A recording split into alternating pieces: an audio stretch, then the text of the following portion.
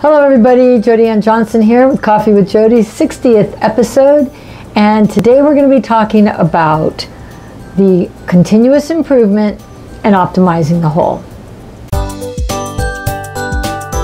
So, for continuous improvement, which is the first lean principle, we're going to talk about the way that you implement this is through daily incremental actions. Now, I don't know about you guys, but I used to be the kind of person, and sometimes I still have to fight it, that wants to go in, do a whole bunch of work, wrap it all up in a box, put it on the shelf, and I'm done. That's not the essence of this principle of continuous improvement. It's the daily habit of actually sweeping, sorting, and standardizing to improve little by little the processes in your business. So, for instance, there are about seven different business principles that you and I live and die by in our business. So you might think of it like business development, invoicing and collections, and you can fill out the ones that are unique to you if you're in different kinds of industries.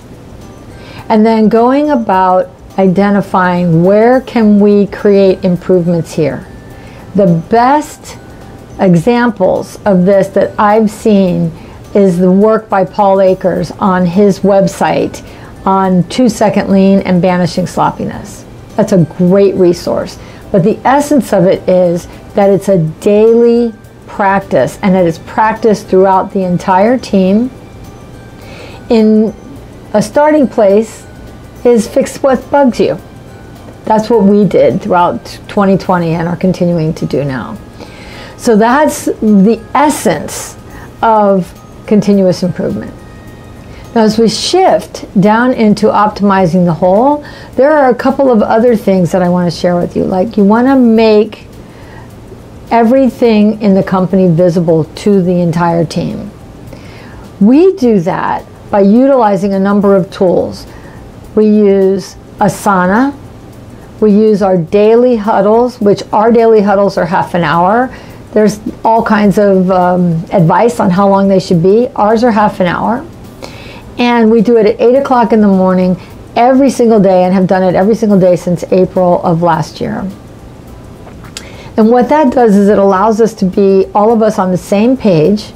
We do a learning, we do a check in, we do what are we grateful for, but we're really looking at being in communication. The tools that we use throughout the day are Teams and Asana. Asana for the tasks and project management type uh, processes that we have, and Teams to be housing our wiki and to be able to do almost like instant messaging through Teams, um, which is a Office, um, Microsoft Office tool. So we are streamlining our communication and we are enabling visibility across the organization. The last one is how do you make faster and smarter decisions in the business? Establish your customized KPIs. So KPIs, key performance indicators that allow you to take actions to address those things that are indicators of key performance and effectiveness in your business. Now, key performance indicators are typically lagging indicators. So these daily conversations and weekly meetings allow you to be on top of it so it's not you know a report that you get at the end of the quarter or even at the end of the month that you can't do anything about. Another concept is that of critical drivers. I first heard about this from Keith Cunningham and his book, The Blueprint to a Wildly Successful Business.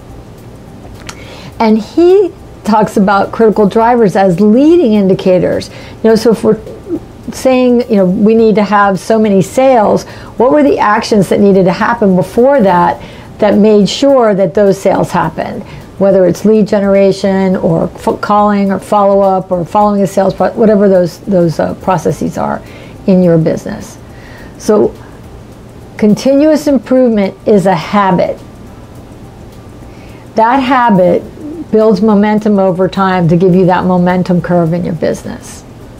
And then the optimizing the whole can go anywhere from optimizing the whole of the organization all the way down to optimizing the whole of a particular process like client service development. That allows you to utilize resources effectively of your time, team, and money. It allows for more profitable engagements and it allows you to make better decisions faster.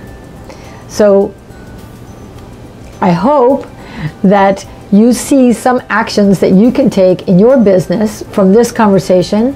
And if you do, I'd love to hear what they are. And if you got value from this, please share it, like it, and subscribe, and then put your comments in. We'll be focusing on these eight lean principles throughout this month, and those are the first two.